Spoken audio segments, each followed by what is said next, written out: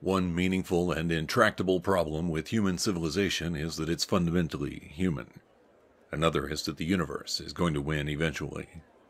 Human cruelty and frailty will be on display in the weeks ahead as we begin our series, exposing the 1920s year by year. Stay tuned for horrible events mostly forgotten until now. Between the end of World War I and the Great Depression, Events were frequently violent and sometimes amazing. The technologies and conveniences that define our modern lives were just coming into existence.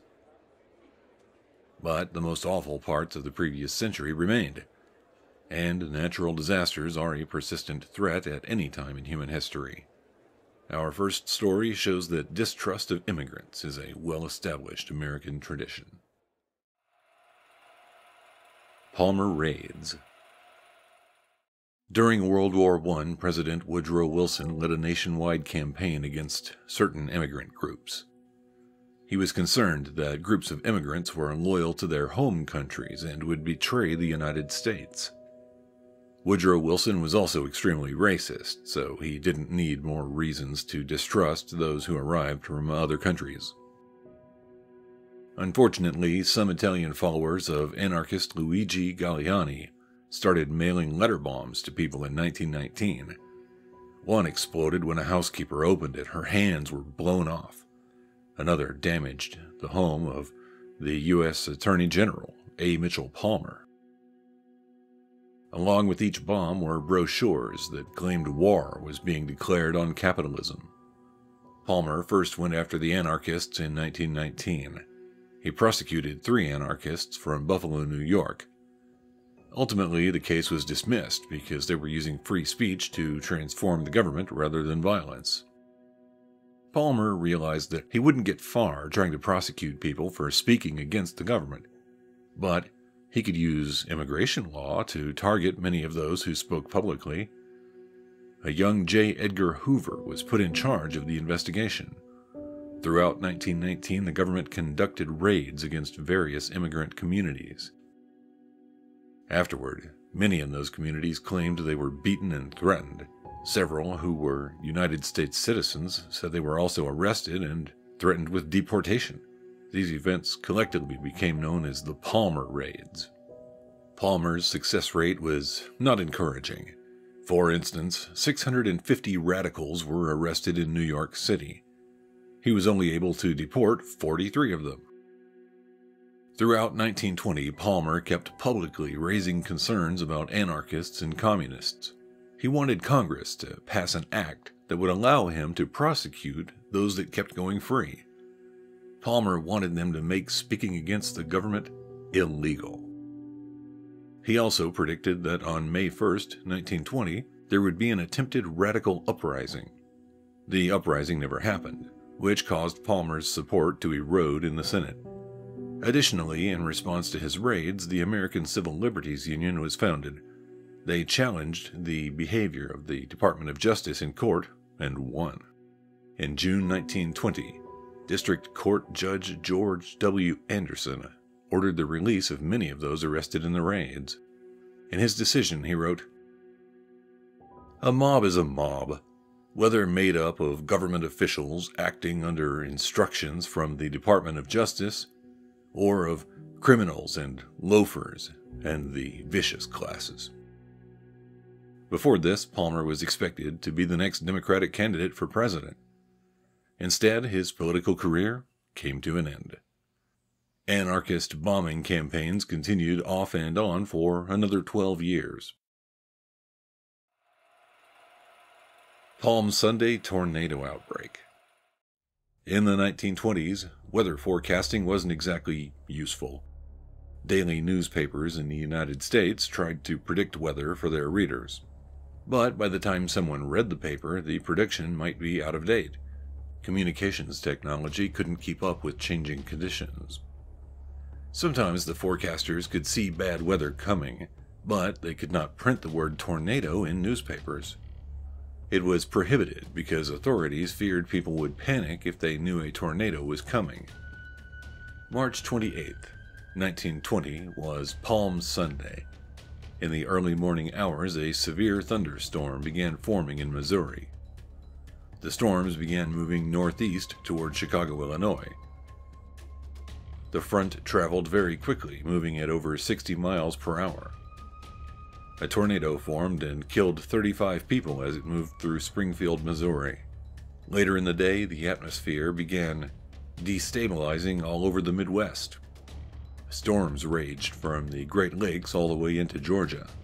Nobody knows for sure how many tornadoes formed, but it was at least 37. At least 153 people were killed, another 1,215 were injured. In addition to those killed in Missouri, there were also fatalities in Ohio, Indiana, and Georgia. Everyone was caught by surprise when the tornadoes arrived. They had no idea bad weather was coming. It wouldn't become standard practice to warn the public about tornadoes until 1954. Duluth lynchings. During World War I and the decade following it, black people in the United States began migrating from southern states to northern states. They wanted to escape the rampant racism that was normal in the South. Most hoped to find well paying jobs and create a better life. Some accomplished that goal by joining the circus. On June 14th, the John Robinson Circus came to Duluth for one night. The circus gave one performance, then planned to move on. After the show, black workers began dismantling the tent. As they loaded items into the wagons, they were watched by two teenagers that had snuck into the area. Jimmie Sullivan was 18 years old. Irene Tusken, his companion, was 19. Nobody knows what really happened between Jimmie, Irene, and the workers. But later that evening, Jimmie told his father that five or six of the workers assaulted him. Then they raped Irene and robbed her. The next morning, Duluth police chief took all the black workers from the circus and lined them up. He asked Jimmie and Irene to identify their attackers. The police chief arrested six men for the rape and robbery and took them to city jail. On June 15th, Irene was examined by her physician, who found no evidence of rape. But the truth no longer mattered. Newspapers printed stories about the rape. Rumors began to spread claiming that Irene was near death from her injuries. The result was an angry mob of several thousand men that formed outside the city jail. The police chief ordered his officers to not use their guns to defend the prisoners.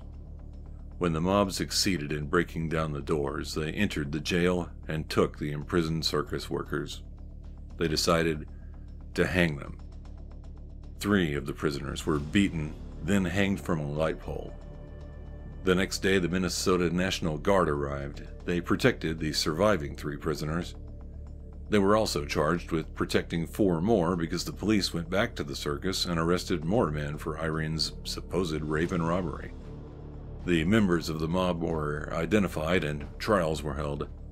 A grand jury handed down 137 indictments. None of those charged were convicted of killing the prisoners. Ultimately, three were found guilty of rioting and served no more than 15 months in prison. The seven black men who were arrested were also put on trial for rape. Charges were dismissed for five. One went to trial and was acquitted, Another went to trial and was found guilty and sentenced to 35 years. He was released after serving four years. Wall Street bombing. On September 16th, a horse drawn wagon pulled up to the headquarters of the J.P. Morgan Bank. Inside the wagon was 100 pounds of dynamite and 500 pounds of cast iron weights. The explosives were connected to a timer, Around noon, the detonation was triggered. The dynamite exploded and shrapnel flew in all directions. Forty people were killed in the blast. They were young people who worked in mostly low level positions. Several more in the area suffered severe injuries. The Federal Bureau of Investigation didn't exist yet. Its predecessor was the Bureau of Investigation. The Justice Department asked them to find out who planted the bomb brochures were found in the area that said, Remember, we will not tolerate any longer. Free the political prisoners, or it will be sure death for all of you. At the bottom was written, American Anarchist Fighters. The Bureau investigated for three years. They were never able to find out who planted the bomb. Bloody Sunday. The United States wasn't the only place experiencing violence and unrest. The Irish War of Independence was at its height in 1920. The Irish Republican Army, or IRA, fought against British forces, hoping to win their independence. Michael Collins was the leader of this new Irish government. On November 21st, he instructed the IRA to kill a group of undercover British agents that were living in Dublin, Ireland. IRA operatives traveled to various locations within the city. They killed 15 people, including some innocent civilians. The killings caused panic among British authorities. They fled to Dublin Castle for safety. Later that day, British forces raided a football game. They were supposed to seal off the area and perform a search. Instead, they opened fire on players and spectators. At least 14 civilians were killed and 60 more were wounded. Three of the IRA operatives that carried out the attacks were captured and brought to Dublin Castle. Two of them were beaten, then killed. The IRA operation severely damaged British intelligence in the city, and the British retaliation against civilians and operatives resulted in increased public support for Irish independence. Direct conflict continued for two more years. The violence didn't end for decades. Government overreach, natural disasters, bombings, and of course, civil war. 1920 was a difficult year for terrorists and victims alike. The struggles of this decade would shape the modern world into the dark and foreboding place we enjoy today. Which of these troubling events from 1920 bothered you the most? Let us know in the comments if you feel up to the task. If you want to see more of this troubling decade, then hit the like button and consider subscribing to our channel. You might also enjoy a previous series we completed called Bad Things Happened in the 1950s. Thank you for watching Bad Things in History.